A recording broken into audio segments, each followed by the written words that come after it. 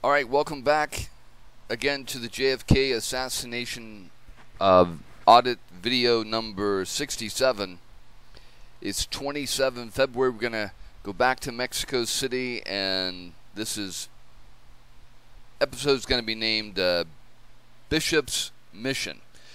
So we're talking about Maurice Bishop, who was also known as uh, David Atlee Phillips. We're reading over his Spartacus article. It says on the 27th of November, Luis Echeverria told Scott that he had rearrested Sylvia Duran because she was trying to leave Mexico for Cuba. Thomas Mann sent a message to Winston Scott that stated Duran should be told that as the only living non Cuban who knew the full story, she was in exactly the same position as Oswald prior to the assassination. Her only chance of survival is to come clean with the whole story and cooperate fully. I think she she'll crack when confronted with the details. Now it's really interesting because, you know, basically, Duran is just like a Walmart cashier. You know, say Ted Bundy came into a Walmart before he went on his killing spree and bought a few things and maybe chatted with um, the cashier and then went out and did his dirty deeds. I mean, Sylvia Duran's about as guilty as that cashier. I mean, it doesn't make any sense. What they're doing is because Oswald's dead, they're trying to find someone to focus the blame on. Okay? And for some reason they're they're picking on her. Cuz I haven't seen any evidence linking her to anything. She's just some innocent bystander that just happened to be in the wrong place at the wrong time. Anyway, it says J. Edgar Hoover sent FBI agent Larry Keenan to Mexico City in order to have a meeting with Winston Scott, Thomas Mann, and Phillips. Mann sta- started the meeting by expressing the belief that Fidel Castro and the DGI were behind the assassination of John F. Kennedy and that it was just a matter of time before the United States invaded Cuba. And see, they're pushing that same line that the hardcore conservatives want to push LBJ into invading Cuba. And they're trying to link Oswald to Cuba and the assassination of Kennedy to Cuba. However, Kennan replied that Hoover, Lyndon Johnson, and Robert Kennedy all believe that Lee Harvey Oswald acted alone. Of course, Lyndon is saying that because they're trying to avoid a World War III there. Thomas Mann later told Dick Russell, It surprised me so much that was the only time it ever happened to me. We don't want to hear any more about the case and tell the Mexican government not to do any more about it, not to do more investigating. We just want it hushed up. I don't think the U.S. was very forthcoming about Oswald. It was the strangest experience of my life. So, what we have is two opposing forces on the anti Kennedy side. Okay? So, we've got the pro invasion side, I guess you could say. The ultra right wing conservative anti communists are trying to push LBJ into invading Cuba. Just like they tried to push Kennedy into invading Cuba after the Bay of Pigs and after the or during the uh, Cuban Missile Crisis. Now you got the same elements involved, and they're trying to use this situation with Oswald because they set him up as an excuse to invade Cuba. LBJ is understanding it. He wants the power to be president, but he doesn't want, you know, to be a short 15 minute presidency because the whole world's been radiated. So this is what he's doing. He's trying to cut that off and cut off any investigation outside of just it was Oswald. All right. In reality, J. Edgar Hoover had not ruled out the possibility of a communist plot to kill uh, John F. Kennedy. At 1:40 on the 29th, Hoover told Lyndon Johnson on telephone this angle in Mexico this angle in Mexico is giving us a great deal of trouble because the story there is the man Oswald getting $6,500 from the Cuban embassy and then coming back to this country with it. We're not able to prove the fact, but the information was that there, um, that he was there on the 18th of September in Mexico City, and we're able to prove conclusively he was out, he was in New Orleans that day. So again, if you really think that Oswald got $6,500, do you think that he'd be living with his wife who was moved out because of his abuse and moved out because he wasn't providing for her him and the her and the kids? Do you really think Oswald's wife would be living with Ruth Paine? Do you really think that Oswald would be living in a separate rooming house? I mean, six thousand five hundred dollars is equivalent to about thirty, forty thousand dollars nowadays. That's about a year's income. Do you really think Oswald, if he'd gotten that money from the Cubans, would be living in his abject poverty that he's doing? Anyway, and then the story says that on the 18th, Oswald was still in New Orleans on the 18th. Anyway, it says now, then they've changed the date. So the story came uh, in changing the date to the 28th of September, and he was in Mexico City on the 28th. Now the Mexican police have again arrested this woman Duran, who is a member of the Cuban embassy, and we're going to confront her with the original informant who saw the money pass, so he says, and we're also going to put the de- lie detector tests on him. So this is the Nicaraguan guy that's saying he saw Oswald, you know, with a Cuban agent passing him money in, in the lobby out in the open there. I mean, do you really think the Cubans are that stupid that if they're going to pay Oswald money, they're not going to do it out in the open in the lobby where any other, you know, Tom, Dick, and Harry can see them with their illegal activities, you know, paying Oswald to kill the President of the United States. Just think how stupid that is. Think how idiotic that is.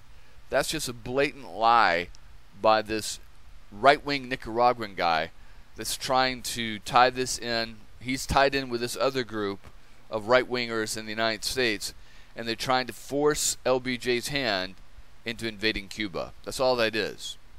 Okay? That evening, Fernando Gutierrez Barrios told Winston Scott. Winston Scott is the station chief in in um, Mexico City.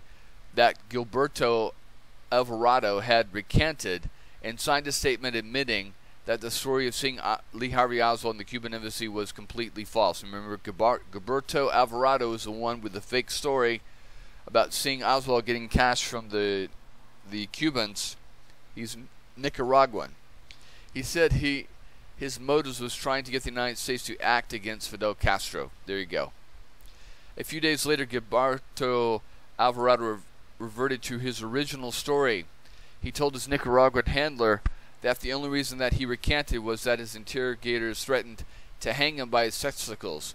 However, soon afterwards, he recanted again. So he tells the story, he recants. He tells the story again, and then he recants. Phillips later claimed that Alvarado was dispatched to Mexico City by the Somoza brothers in what they considered a covert action to influence the American government to move against Cuba. Jefferson Morley argues that Phillips is being disingenuous.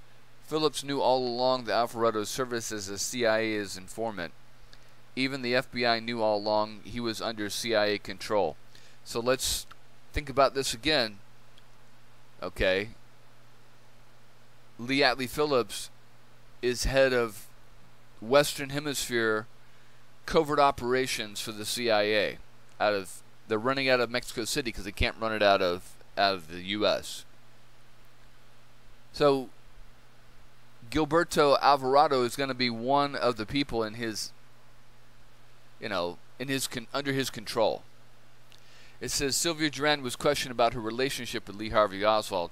Despite being roughed up, she denied having a sexual relationship with Oswald. Luis Echeverria believed her and she was released. However, Duran later admitted to a close friend that she had dated Oswald while he was in Mexico City.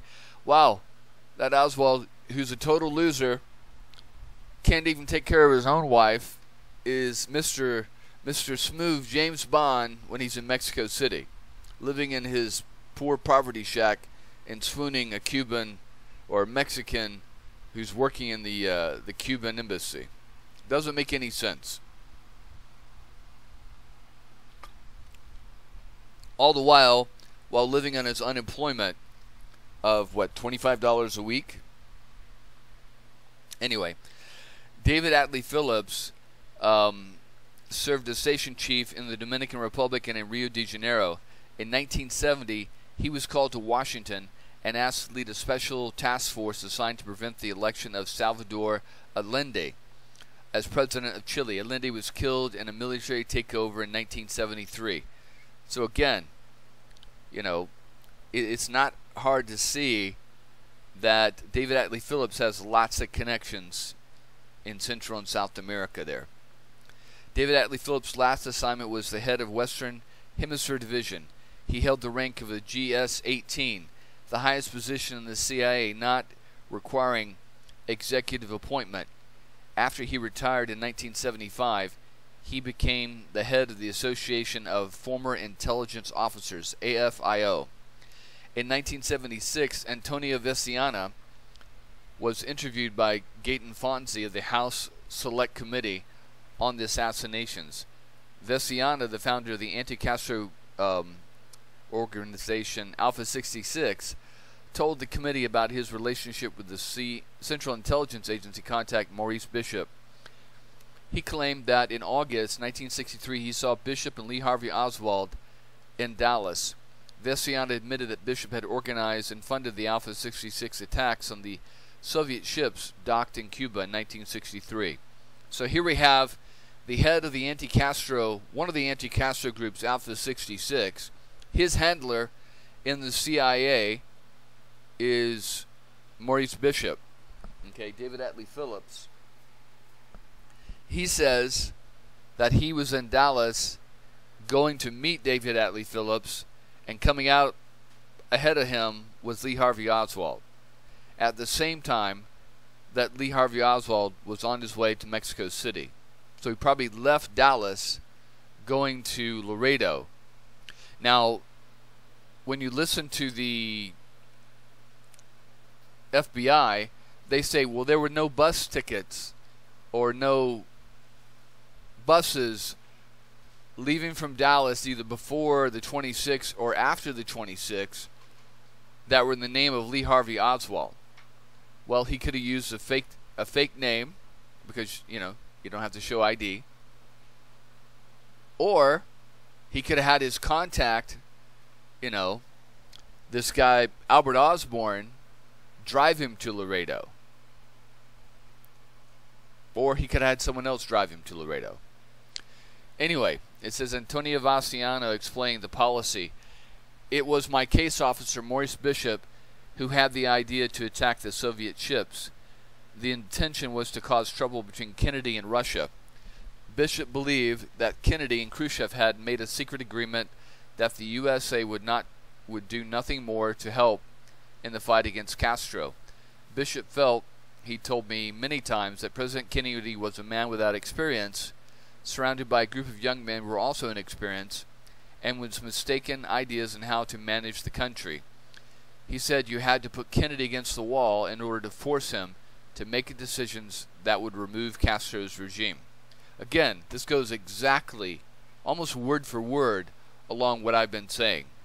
That the ultra right wing conservative anti communists didn't believe Kennedy either had the experience enough to handle the country and to to counter the Cubans and counter the Russians, or they believed he was mildly in bed with them, maybe even pro-communist, which is a total ridiculousness. So they believed the only way to force Kennedy to act on Cuba and to remove Castro, okay, was to do an invasion right at the beginning of his um, presidency to force him to act, which he didn't, or to force him to act when uh, you know, the Cubans brought in the Russian nuclear missiles, and he was able to get the missiles removed, so he didn't. So their next step was to remove Kennedy and then to force LBJ into the same exact situation up against the wall to invade Cuba. So what you have here are private individuals or government employees working for the CIA trying to change American policy of an elected official that they don't like or trust or understand. It says Richard Schweiker, a member of the committee, uh, speculated that Bishop was David Atlee Phillips. Schweiker asked his researcher, Gaeton Fonzi, to investigate this issue. Fonzi arranged for Veciana and Phillips to be introduced at a meeting of the um, Association of Former Intelligence Officers in Reston. Phillips denied knowing Veciana. After the meeting, Veciana told Schweiker that Phillips was not the man known to him as Bishop. Interesting. But again, we're talking like 15 years later, too. Gaeton Fonzi was unconvinced by this evidence. Also, if you remember, a lot of people were ended up, you know, killing themselves, shooting themselves in the back of the head, uh, ended up in um, drum barrels floating around, chopped up in drum barrels floating around in uh, Biscayne Bay in Florida. So Veciana was not stupid. He also got shot in the head. So he has kind of an incentive not to confront um, Maurice Bishop and confirm that Phillips is the same person there, at least at that time. Gaeton Fonzi was unconvinced by this evidence. He found it difficult to believe that Phillips would not have known the leader of Alpha 66, especially as Phillips had been in charge of the covert action in Cuba when Alpha 66 was established. So Phillips would have been the contact, passing out orders, passing out money to the leaders of these organizations. So it's highly unlikely he wouldn't have known um, Veciana as the leader of uh, Alpha 66, especially as Phillips had been in charge of covert action in Cuba when Alpha 66 was established. Other information also emerged to undermine Phillips. Uh, CIA agent Ron Crozier, who worked in Cuba during this period, claimed Phillips sometimes used the code name Maurice Bishop. Phillips testified before the House Select Committee on Assassination on April 25, 1978. He denied he ever used the name Maurice Bishop. He also insisted that he had never met Antonio Veciana. So, when you're working covert operations, especially with these Cubans, when you don't know exactly, there could be pro Castro sympathizers or infiltrators inside these groups. So when you're meeting with these groups, you don't want them to know exactly your real name. So you're going to use a cover name. I mean, it just makes sense. Okay? That's just part of the game there. Um, let's see. And also, if you're confronted about it, you're going to deny it, especially to a House Select Committee, which has really no authorization to override any kind of secret, top secret agreements that you have with the with the official U.S. government or the CIA. Phillips published his autobiography, The Night Watch 25 Years of Peculiar Service, in 1977. The following year, he published Carlos Contract, a novel that dealt with political assassinations. Phillips also wrote The Great Texas Murder Trials, a compelling account of sensational T. Cullen Davis case. And if I remember correctly, the Carlos contract. Let me see here. Hold on. Let's take a look at that. I think he even mentions Oswald in the Carlos contract. Let's take a look here. Hold on one second. It's a fictional account, actually. Oh well, wasn't able to find that, but I think that's the one. It's either him or Hunt that do a fictionalized version um, of them as a contact with um, Lee Oswald. Right? I have to clarify that, but I, I believe that's what it is. And so that's what they do is if you want to write about and boast about things that you've done in your life, but you can't legally do it because of your top secret clearance contract, you write about something fictionalized. Okay? And that way you can boast about things that you did and brag about them. Anyway, it says according to Larry Hancock, the offer of someone would have talked. Just before his death, Phillips told Kevin Walsh, an investigator with the House Select Committee on Assassinations, my final take on the assassination is there was a conspiracy, likely including American intelligence officers. Some books wrongly quote Phillips as saying, My private opinion is that JFK was done in by a conspiracy, likely including rogue American intelligence people. David Atlee Phillips died of cancer July 7, 1988. He left behind an unpublished manuscript, the novel. Oh, here we go. The novel is about a CIA officer who lived in Mexico City. In the novel, the character states, I was the one of those officers who handled Lee Harvey Oswald. We gave him the mission of killing Fidel Castro in Cuba. I don't know why he killed Kennedy, but I do know he used precisely the plan we had devised against Castro. Thus, the CIA did not anticipate the president's assassination, but it was responsible for it. I share the guilt. So, again,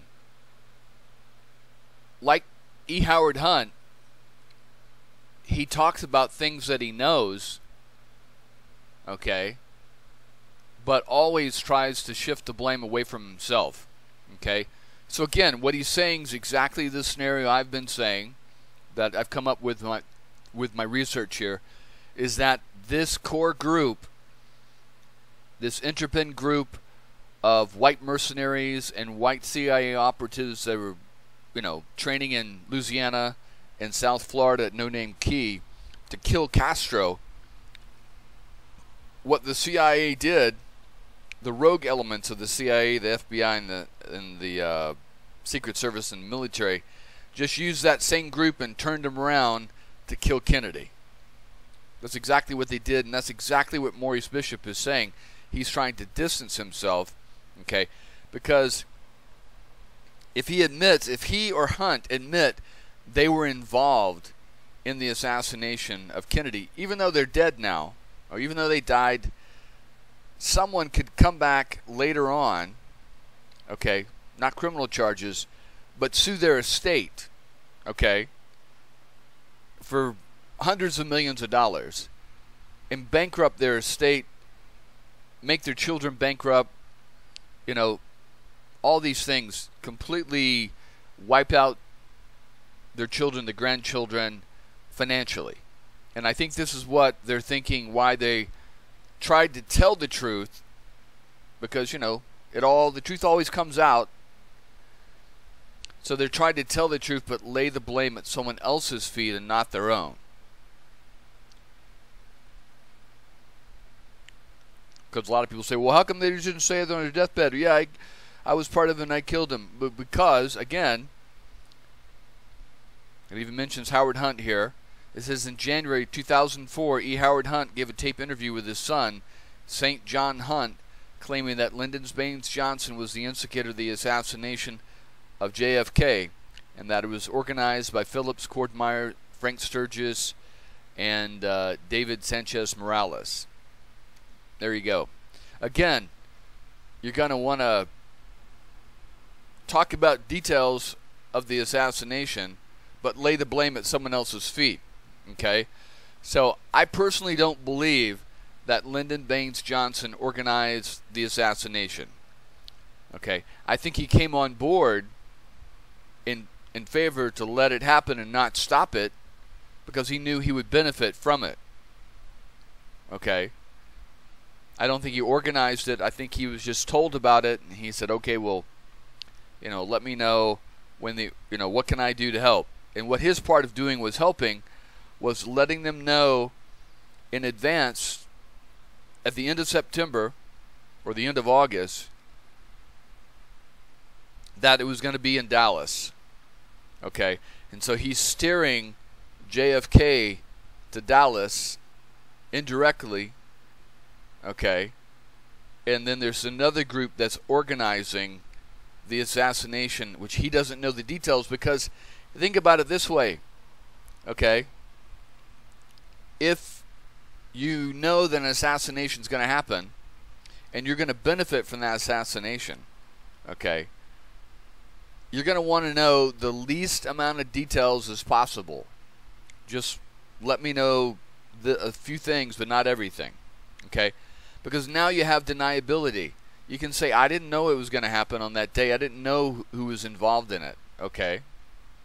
And then we have this confession of him in front of his girlfriend saying, you know, she asked him, you know, people were saying you were involved in the assassination. He got upset, went into a tirade, started yelling, hit his fist against the wall, and says, no, it wasn't me, but the big oil guys who organized, and the CIA, rogue operators in the CIA who organized the assassination. Okay? There you go.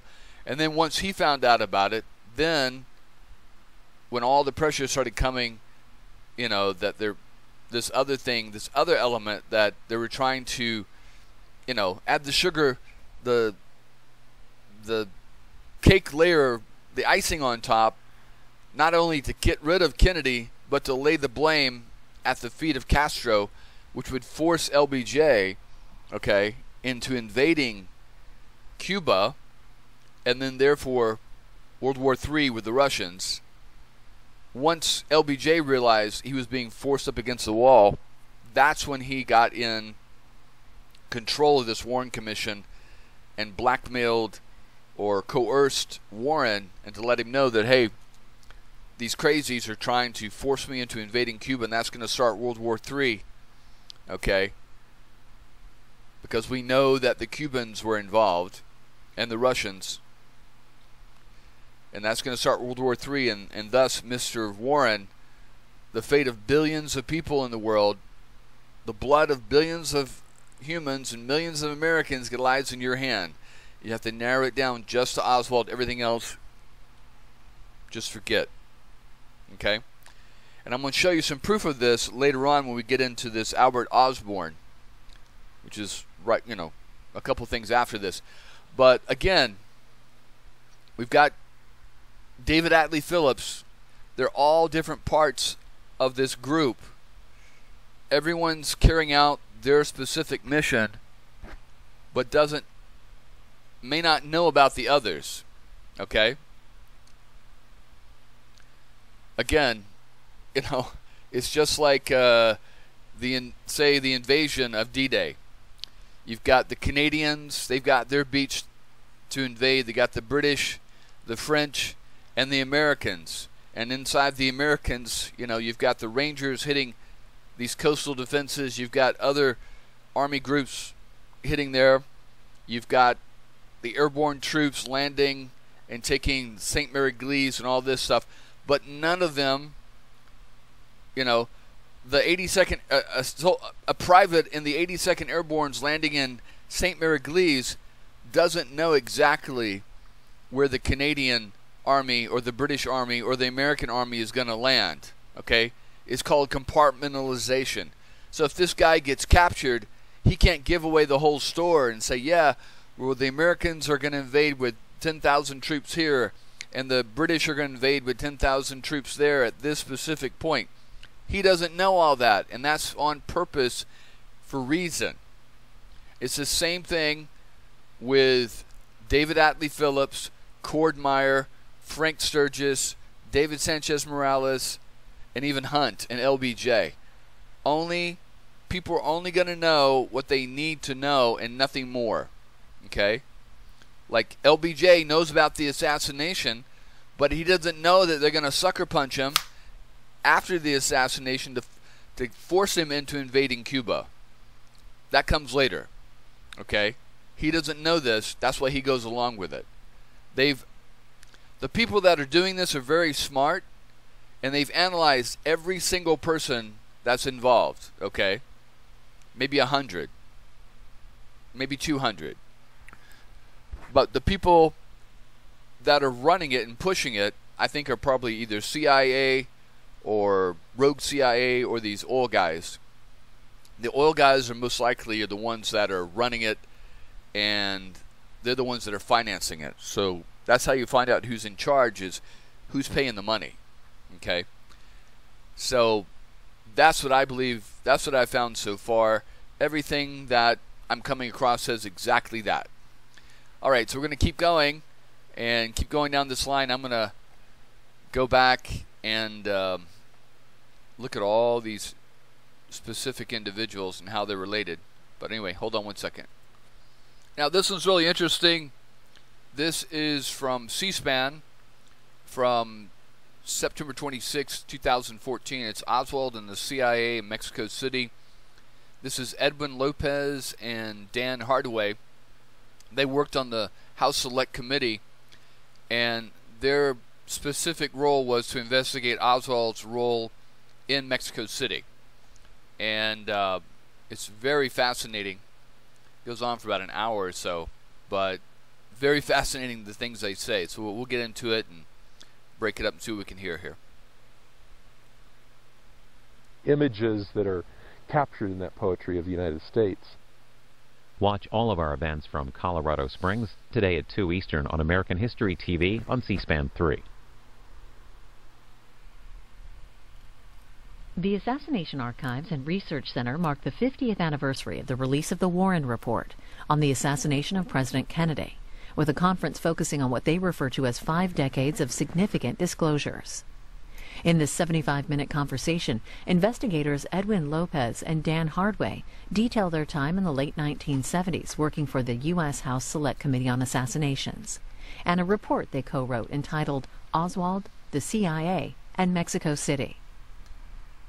I've been joined by two people who are relevant to this story if we think in terms of a succession of stations or stages, places where we're standing on solid ground.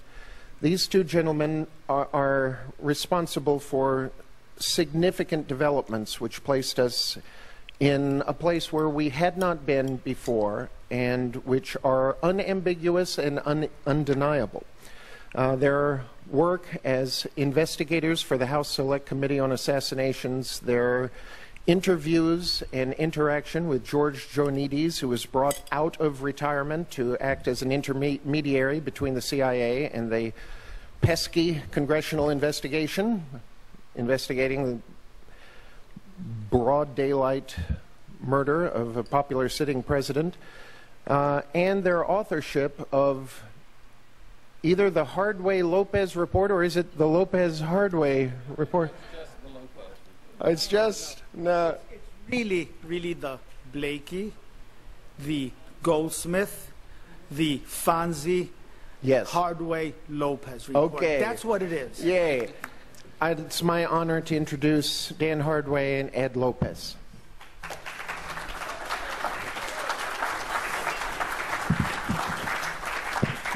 Thank you. Uh, I am Dan Hardway. Uh, I know you would be hard pressed to tell that I was Dan and this was Ed Lopez by just looking at us. It's always been that way. He's the Spanish guy. I am.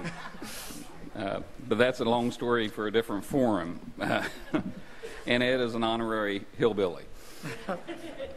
I had I had the distinct privilege of working for and with or for Bob Blakey and with Ed Lopez uh, from 1977 1978 on the House Select Committee on Assassinations. It was my honor and privilege to be able to assist Ed in preparing the Lopez report. and and to work for Bob, uh, Ed and I both were students at Cornell and accompanied Bob to D.C. from Cornell, took leaves of absence, and worked on the committee. Uh, I know you're all expecting Bob to be here this morning, and he was supposed to be here this morning. However, he was unable to get here until tomorrow, so he will be p- appearing tomorrow afternoon.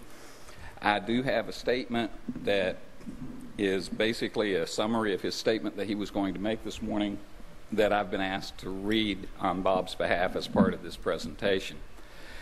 So, if you will bear with my reading skills, and uh, I will try to read Bob's statement to you.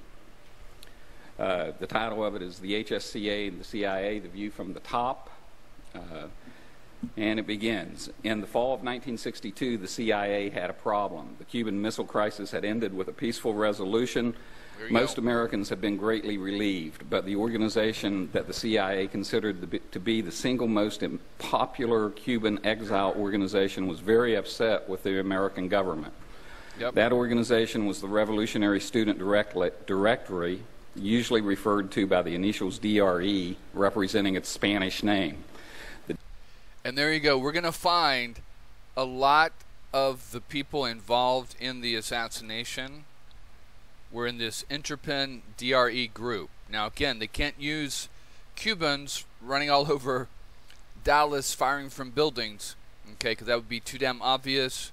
You already saw the Dallas police were arresting any, you know, person that wasn't white, that was black, Hispanic. They were just throwing them all in um, the uh, the police cars. There's numerous pictures of that. So to use a bunch of Cubans running around Dallas, white, white, white, white Dallas, white conservative Dallas, firing guns and carrying rifles would be almost impossible. So they used the Cubans in support roles, and the people above them, the CIA mercenaries and contractors with this Interpen group. That's what it seems like to me. I've been coming across these documents. That's basically what it, they're saying here. And this is what he's saying. But the impetus for this was the DRE group, this anti Castro group that, you know, they think that Kennedy screwed them at the Bay of Pigs, which really, in reality, you know, it's weird how people can see things from the reality of something from 20 different ways. The reality is they had already planned the Bay of Pigs before Kennedy was even elected. Okay? They expected Nixon to be president. Nixon was the vice president under Eisenhower and the head of this Operation 40, which was the elimination of Castro. So they expected Nixon to be president. When Nixon didn't win, and believe me, it was a very close election, then Kennedy came in. They decided to go along and go ahead with the Bay of Pigs, even though they knew it wouldn't be successful, and they figured they could sucker punch Kennedy into providing air support and providing the Marines to invade Cuba. They figured he was a young, inexperienced man. We're talking like just a few months into his um, into his presidency. Okay, so this is what they're talking about. This is what's going on.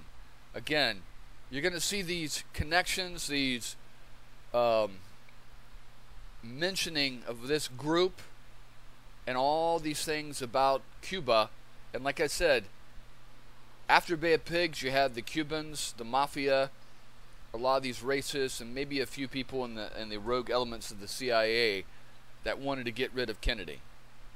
But after, I believe, you know, not like Oliver Stone that it had to do with just Vietnam. Uh, that was part of it, according, uh, you know, with a lot of other more things. But I believe the impetus for Kennedy's assassination started the day after the missiles started being removed from Cuba, because that was their figure their last chance to get Castro. Their, you know, the whole right wing conservative element of the military and the intelligence group was trying to get force Kennedy into invading Cuba.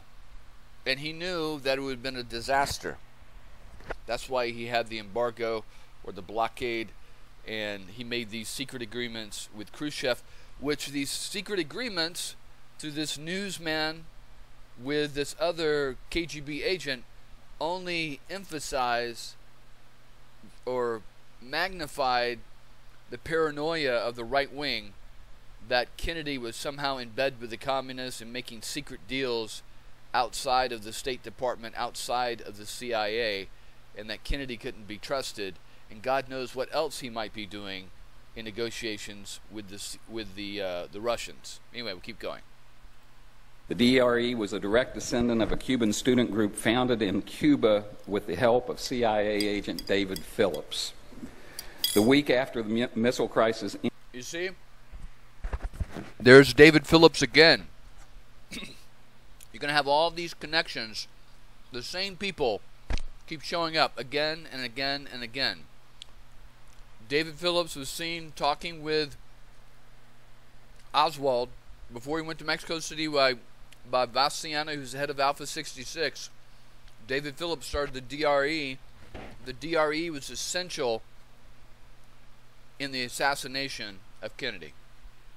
Ended, the DRE provided information to the Washington Evening Star newspaper that there still were missiles hidden in Cuba.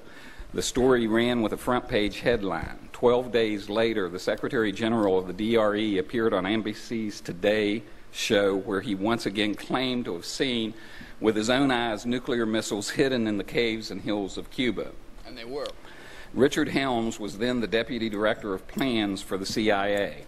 As such, he was in charge of the clandestine services, political warfare, and covert operations. As such, he did not want to lose the agency's influence with the DRE. Most of the funding for the organization was.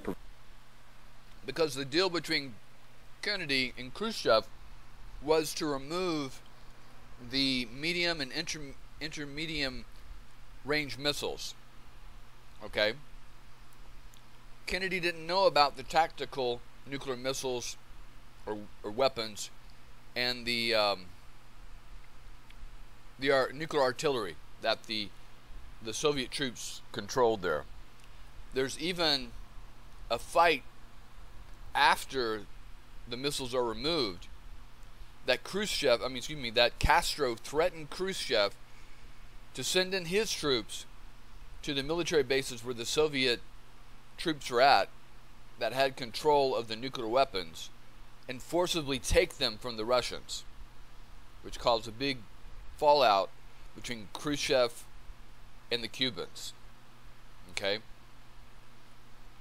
But eventually, eventually, after the deal is made, JFK and Robert Kennedy find out about these tactical weapons. What we're talking about are small tactical, you know, 500 kiloton, 250 kiloton, um, short range missiles, you know, 300, 400 miles that could hit miss, that could hit ships as they were coming into Cuba.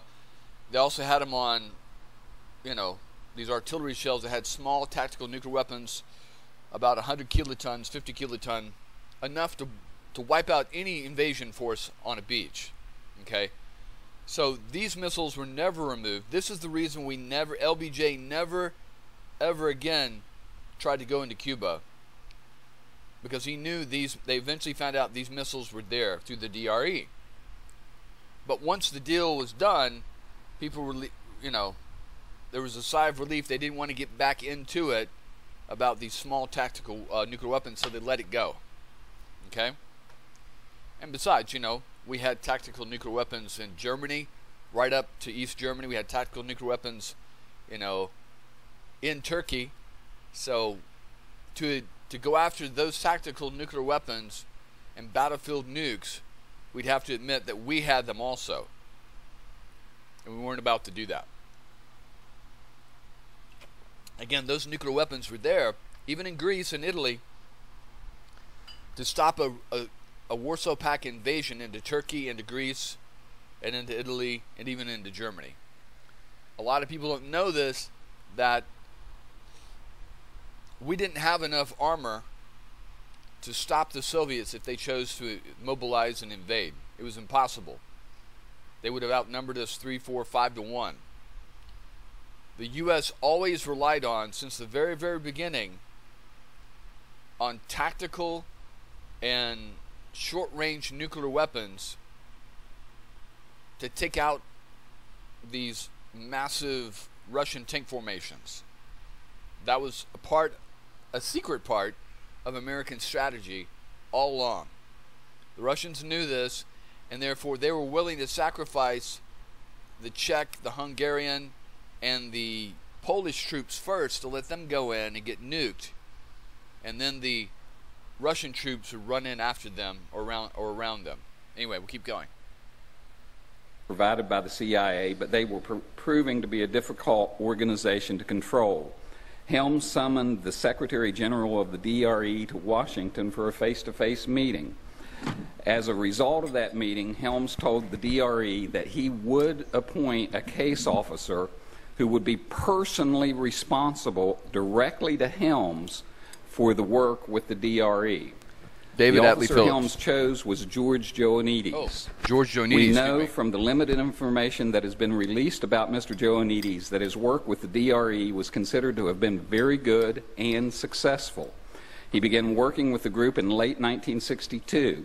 His second specific duty was serving as a case officer for a student project.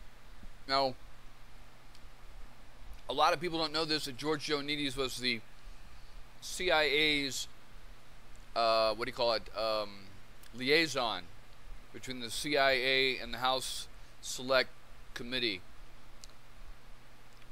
And also, a lot of people don't know this that George Joannides was the organizer. I mean, just like what a year or two later, after the House Select Committee in 1979 when the Russians invaded. Um, actually, even before the Russians invaded, excuse me. So there was a, a communist coup in Afghanistan in 1978. They overthrew the king. Maybe it was 77, 78. They overthrew the king. Okay. And it was a pro Soviet communist group of Afghans that took over. There was a resistance Mujahideen group resisting this communist government that in itself got eventually invaded and thrown out by the Russians. But before then, there was a small arms um, supply train coming from through the C, from the CIA through Pakistan into Afghanistan to resist this communist group. This organization, this supply train, was headed by George Joannides.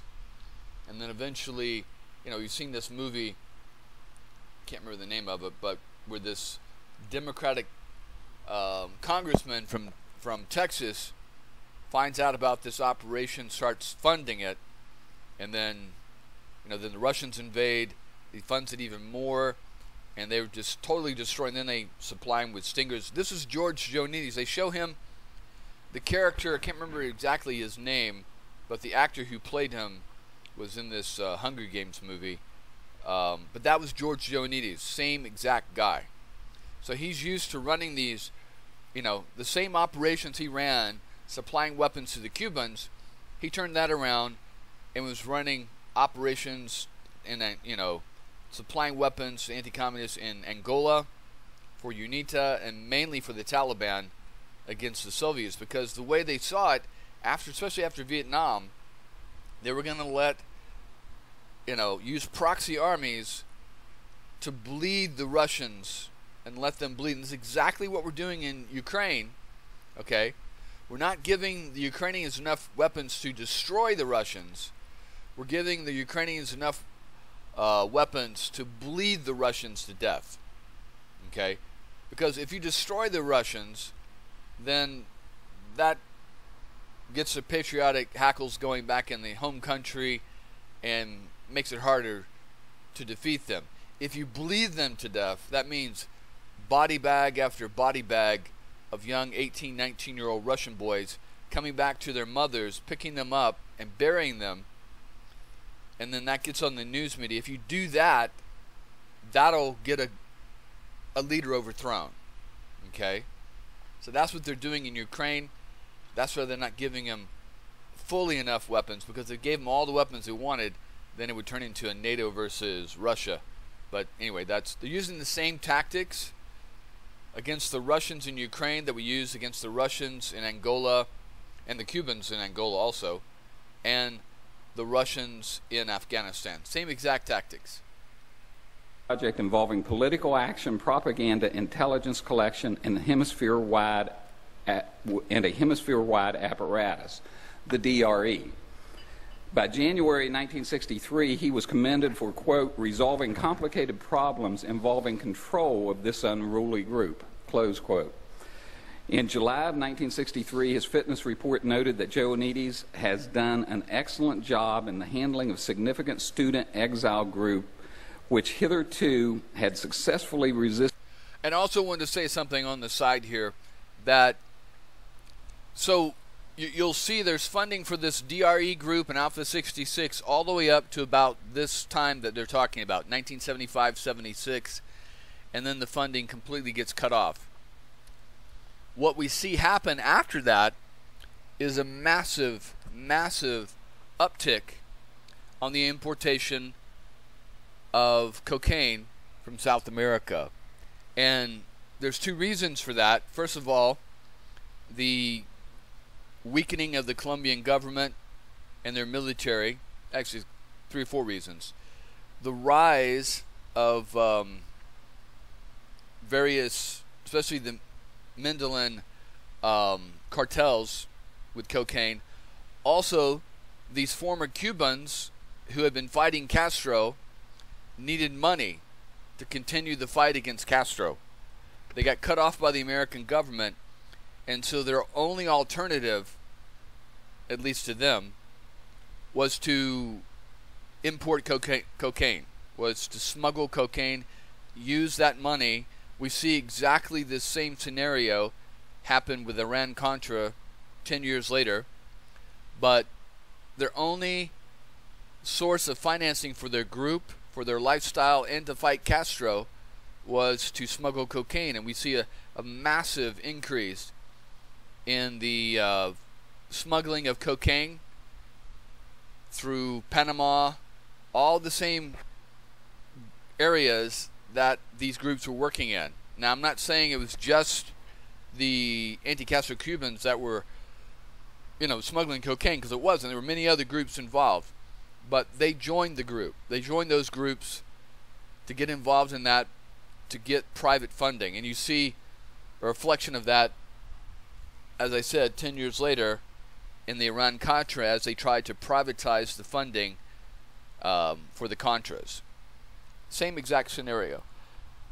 And then that's when we have the cocaine, all this massive intake of cocaine coming into the United States, and we have these cocaine wars. You see the rise of gangs and inside the United States, especially in South Central Los Angeles and in Florida. And I'm not saying the CIA was officially involved in that, like they try to say, um, but you know, you can understand a lot of these CIA case officers looking the other way because their sympathies are for the anti-Castro Cubans against Castro. They have no funding, you know, coming through the Carter years and you know the beginning of the Reagan years. And so that's what they that's what they did, and we see you know we see the result there. Anyway, keep going. Listed any important degree of control. That's a quote again from his fitness reports. He was promoted to take over as head of the political warfare branch of the CIA's Miami station. In other words, he became the manager of the propaganda operations, and the only operation that he retained, the only operation, running operation that he retained under his direct control was the DRE. The Assassinations Record Review Board released the copies of Joannides' fitness reports from the, that the agency turned over to them. From the start of his work with the DRE in the fall of 1962, there are quarterly reports until July of 1963. The next released fitness report is dated May 15, 1964, and covers the period from April 1, 1963 to March 31, 1964. In that time, he has been promoted again to head the, cover, uh, covert action branch of the Miami station while remaining the senior case officer for DRE. The report praises Joannides for the quality and quantity, quality and quantity of his propaganda and political action programs, and his ability to translate policy directives into meaningful actions by all of his assets. Okay, so when he's saying assets, okay, so if you, you can imagine it like this, here's Joannides here, okay, and then there's going to be above him David Atlee Phillips Okay, so David Atlee Phillips is head of the anti-Cuban operations in Western Hemisphere anti-communist operations. Underneath him, you know, it's going to be like a division chief. You got a guy that handles accounting, a guy that handles maintenance, a guy that handles personnel. This is what we're looking at. Okay. So you've got Joannides who's handling specifically the anti-Castro Cubans. The money's flowing, okay, from Phillips to Joannides. Joannides passing out this money, and intelligence and information to these different groups Alpha 66, the DRE, um, and even and then on top of that, between Joannides and these anti-Castro Cubans, you got the Interpen group, Operation 40 guys, the GM, JM Wave, with the white guys, the white mercenaries, the white conservatives, and they're training the Cubans here. So this is what he's talking about here. You've got Joannides as the linchpin above all these people. Okay? He's providing them intelligence. He's providing them with funding. He's getting feedback to go to his senior operations. Now, Joe Joannides may or may not have been involved in the assassination. It could have just been people below him. But I would say that since he was above them, there's no way that the planning could have occurred without him or Phillips knowing about it. As most of you know, it was in this period, in August of 1963, that Lee Harvey Oswald had an encounter with the DRE's representatives in New Orleans. There you go. That encounter resulted not only in widespread publicity in New Orleans at the time, including newspaper articles, television coverage, and radio interviews, it also resulted in the first reports trying to tie Lee Harvey Oswald to Castro after the assassination of John Kennedy. There you go. DRE, their information had their information the day of the assassination, and it was covered in both the Miami Herald and the Washington Post the next day. Headlines in both papers. The DRE published the details of what they knew in their own paper that week. The CIA never told the Warren Commission about their support of or work with the DRE in 1963. To my knowledge, the CIA never told the Church Committee about it. The ARRB asked the agency about DRE at the suggestion of Jeff Morley. The CIA initially told the ARRB, the ARRB the same thing they told me in the HSCA. The agency had no employee in contact with DRE in 1963. Hmm. The ARRB conducted its own examination of CIA records and. All right, so we're going to stop there, okay? Um, but again, like I said, I really believe that the upper levels of the CIA, FBI, Secret Service had no idea about the assassination. And the reason I say that, you're going to see FBI investigations getting really intense and extensive into these various people and various groups. And they wouldn't be doing that if they were already involved and they knew who was what and what was who. Okay? So, like I said, it's sort of like that group um, Hydra. Okay? And you've got Hydra, you know, from the uh, the Marvel comics. They're this neo-Nazi group, this ultra-conservative neo-Nazi fascist group, and they used like they used the Nazis, okay, and like uh, what do you want to like a parasite inside the Nazi organization, and they were able to manipulate Hitler and the Nazi organization there. But then later on, they join up with this Avengers group, um, and they're inside the Avengers group. Okay, I forgot what the guys that organization was called. Um, but anyway, there was a group of human, regular humans, that controlled the Avengers. Okay, but the group that controlled that group from the inside was infiltrated was the Hydra group, this neo-Nazi, maybe alien group or whatever you want to call it, and they used the structure of this organization to carry out various things that they wanted done in their agenda, okay? While using a law enforcement group that's supposed to carry out good, there was Hydra involved in it and controlling from the inside.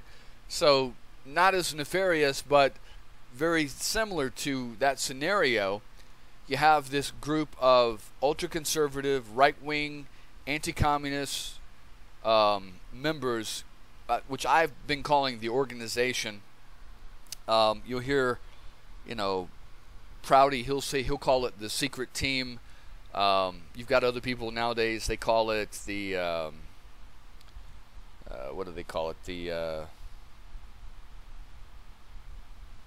ah, I can't remember the name right now, but so you have this group inside these other groups. Okay, they're all connected. So you have ultra right wing conservative members of the Dallas Police Department, the CIA, the FBI, the Secret Service, the Mafia, the anti Castro groups, the old the big oil guys. Okay? All these groups are related to each other in this they have similar goals. They're anti communist, eventually become completely anti uh, JFK. They may not all be involved in the assassination, okay, or even know about the assassination or organizing or the assassination, but they're all sympathetic to getting rid of JFK, okay.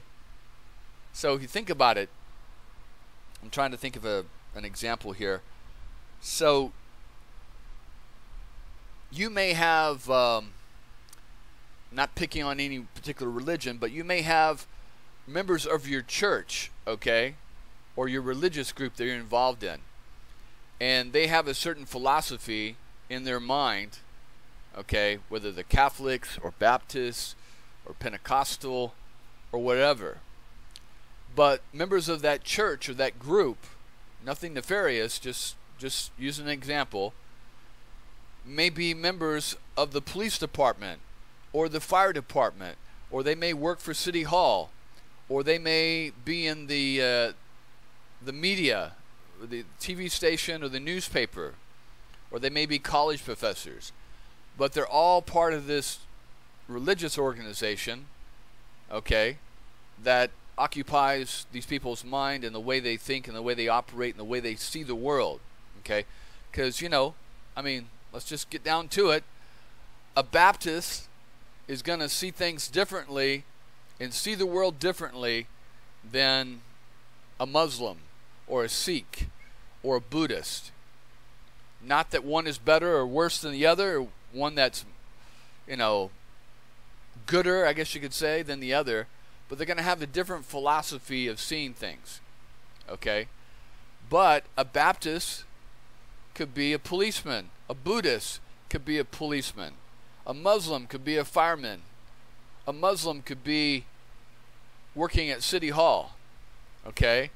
A, you know, a Native American could be teaching at a college. And all that internal philosophy is going to affect the way they see things, the way they live their life, for good or bad. Mostly for good. That's what I'm saying here is you've got a group of people of like-minded. When I say like-minded, I mean inside their mind. This is where their mind is.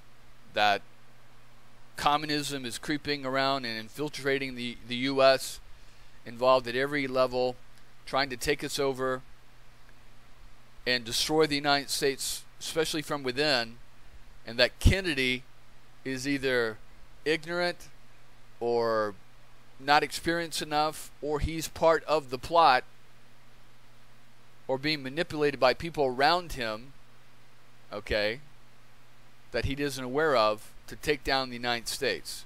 This is their mentality. And they're existing within the Dallas Police Department. They're existing within the CIA, they're existing within the FBI, the Secret Service, the military, the State Department, people of like minds, okay? I mean, you didn't have this group meeting in D.C. of CIA and oil people and FBI agents meeting and playing cards just because they like playing cards. Okay, they were meeting for to discuss the current political situation because they were of like minds. Okay? That's the way most people were back then. That's the way most people are nowadays, especially with the internet. If you think about it, all your friends are people that you most likely agree with politically. That's why you have all these, you know, these MAGA people that vote for Trump when they say, you know, of course the election was stolen because everybody that I knew voted for Trump. Well, of course, because they've eliminated opposition or people that disagree with them from their Facebook page, from their life. That's the way we are. We get tired of fighting, I know I've done the same thing. I went in and had to eliminate people, block people that just constantly fighting with, just constantly for years, and never change and never see eye to eye. Okay? So that's what people are doing in the Kennedy assassination. They're meeting with people of like minds, we're calling it the organization.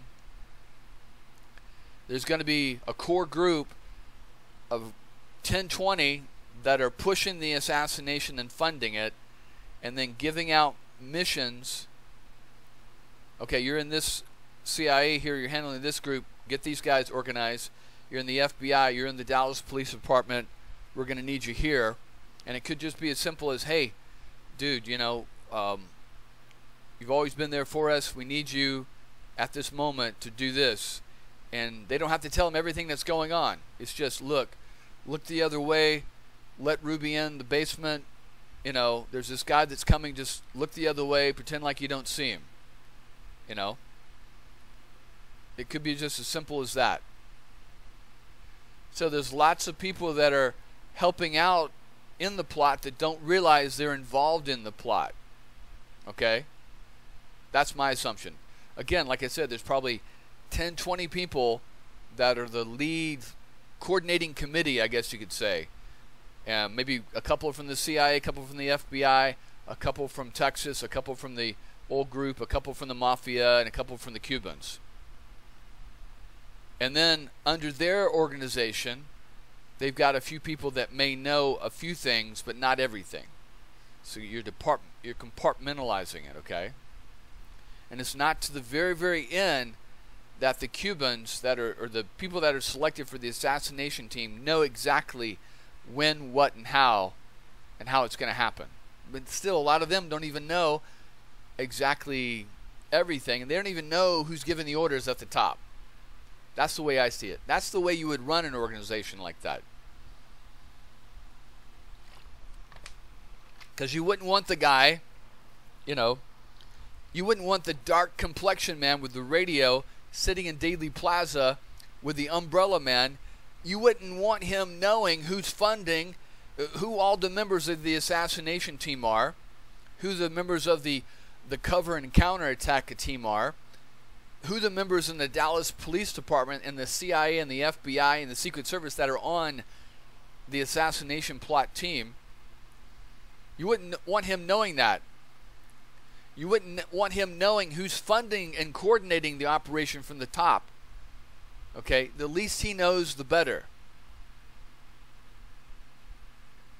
Anyway, that's why I never, when someone comes into the assassination, and they say they know everything and they met, you know, they met 10 of the conspirators all in a room all at one time, I throw them out and say bullshit.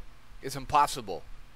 Because no one's going to be that stupid to spill the beans to some lowly, you know, street person or personally bringing money or packages or whatever. It's just impossible. Anyway, we're going to move on here. Hold on a second.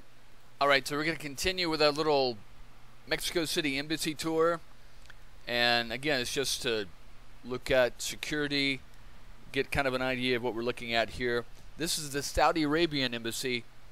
I'm, you know, um, Oswald most likely didn't visit the Saudi Arabian embassy. But again, you can kind of get an idea of where it's at. You got the Russian embassy over here. Um, you got the Cuban embassy up here. This is this little hilly area where the Vietnamese and the Iranian embassies at, kind of a nicer little area. Here is the Saudi embassy. Hold on one second.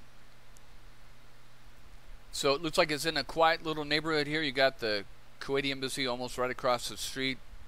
I'm sure there are other Middle Eastern embassies in this area. Yeah, there's the embassy of Iraq, another one of Kuwait. There's a Hungarian one. There's the the Haitian embassy there. Okay, so let's take a look at this from the God's eye point of view. Looks like it's right off a major road here. This is what, some kind of underpass here? Alright, so it looks like it encompasses this entire area here. let's take a look. Hold on one second.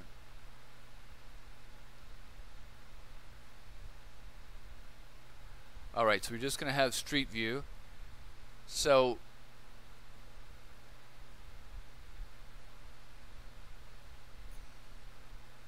this is how you can, can, can tell what's controlled by a private group and what's open. Is wherever street view is at, that's open. Wherever it's not, that's privately controlled. They can't get in there. So you can get an idea that most likely this whole section here is the embassy of Saudi Arabia. Now let's take a look inside the embassy here. We've got photos. Yeah, there's some kind of reception area. Somebody's going to give a speech at the podium.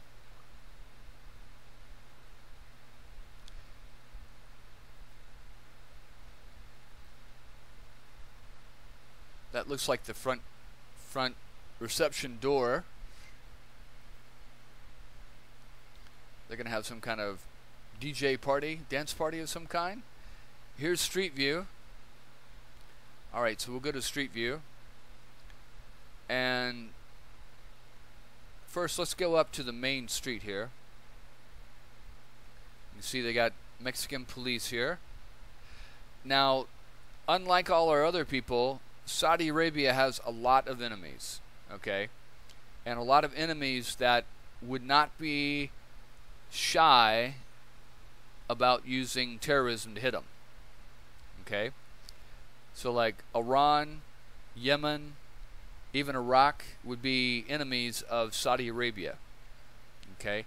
And again, you can see the security is completely up on this. You see how they've got these plants, these trees, they planted these trees along here, and then in between, around the trees, they put these uh, concrete little boxes. This is to prevent any kind of truck punching through. Now you can see this is a private residence. This is a private residence. You can see from the gate there. And then it looks like, yeah, looks like the embassy is going to end right there. So that's the end of the embassy wall. Now you see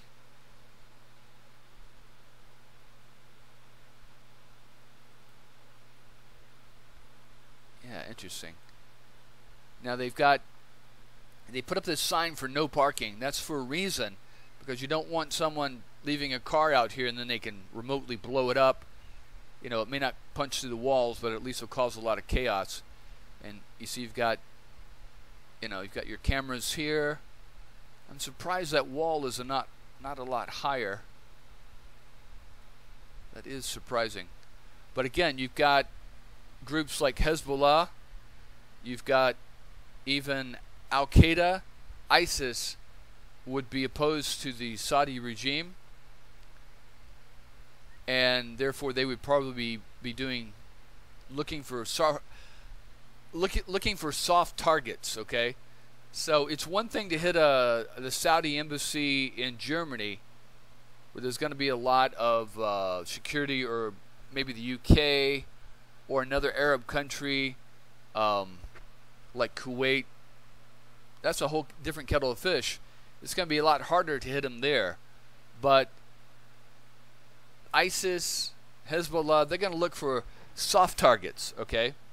So like country countries like Mexico, you know, um, Colombia, places like that would be easier to hit them. This is kind of an odd door I guess it's an entrance door, but also, but it's not very well fortified. But I believe that is part of the embassy here. And again, you see how they've got. It's weird that they haven't concreted these around here, these trees. Huh. Is this the embassy? Let's see. That's the Kuwaiti embassy there. And you see how they've got a little box here for the Mexican police? They even have almost it blocked off, as you can see. So no one's probably going to be allowed down this street unless they're checked out by the Mexican police. I'm surprised they don't have a a gate across there. Now here's the walls. Kind of low security for the Saudis. Again, the threat level. You see how the you see this? There's the Kuwaiti embassy. They got heavy concrete blocks on the bottom of the wall and a very high wall, about 20 feet. And then here's the Saudi embassy. They've got bushes and a wall of maybe 10 feet. So that tells me that the Saudis, they've done their own security evaluation and they believe that in Mexico City, their risk of it being attacked is very low. So that's what it's telling me right there. So, I mean, yeah, look at these open windows and these, even though the blockhouse is quite a ways away. But I guess they're they're figuring they've got enough police and walls that you know it doesn't warrant what's happening with Kuwait there. Now, see, Kuwait. Yeah, that's another situation there. Wow. Let's take a look here. Now this is the front door. You see they've got a little better security situation here. But still, I'm really surprised at the lack of like posts or blocks to keep vehicles away. They've got security camera, got a big steel mesh door. You can see there's the um, uh, control booth there. They got bulletproof glass, most likely. Let's see, do they have electric wiring? No electric wiring. Very strange. So, again, the Saudis have done a security evaluation and figured that their risk of being attacked here is a lot less than the Kuwaitis, I guess. Um, anyway, there's another entrance here. More security cameras. This is a private residence, it looks like. Yeah. Now, another thing is that there has been incidences where a private residence has less security than the embassy next door and the embassy has less security on its wall between that and the private residence than the street level. So there has been incidents where the terrorists would attack the private residence, punch through, and then use that to get inside the embassy to the less secure wall there. Not very often, but uh, it can happen. But yeah, man, the the Kuwaitis are just all over it on their security. Anyway, all right, so we're gonna. That's enough of that, and we've got past our 115, so we're gonna stop here. All right, take care.